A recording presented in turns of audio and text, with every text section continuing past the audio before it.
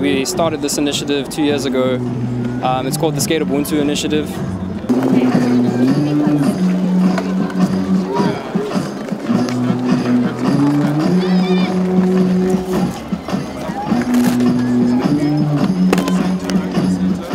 The purpose of the event is actually to raise awareness for skateboarding in lieu of the fact that we'd like to build a skate park in a Killarney location just maybe less than a kilometer down the side there at the new recreation center. Um, yeah, we're well on our way with that as well.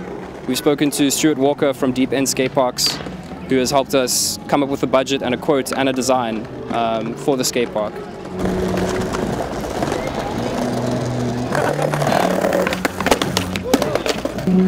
Uh, we're currently in the process of getting our Thundafund page started.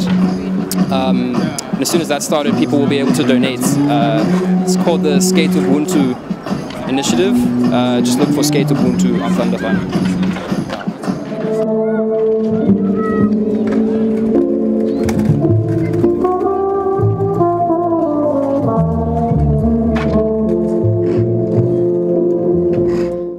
I joined Skate Ubuntu at the beginning of the year, but this is my first event that uh, they've had that I went to.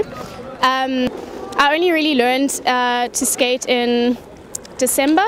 I think this is a really great initiative because it would be great to have a skate park in Grahamstown. Everyone gets to practice, everyone gets involved. Um, it's also a great way to release tension. Um, and yeah, uh, to be honest, I was a bit intimidated because it is very male dominated. Um, but I think it also, in a bad way, it kind of gives you that like allowance to not be good, which kind of sucks, but um, it also kind of helps me feel like, okay, well, if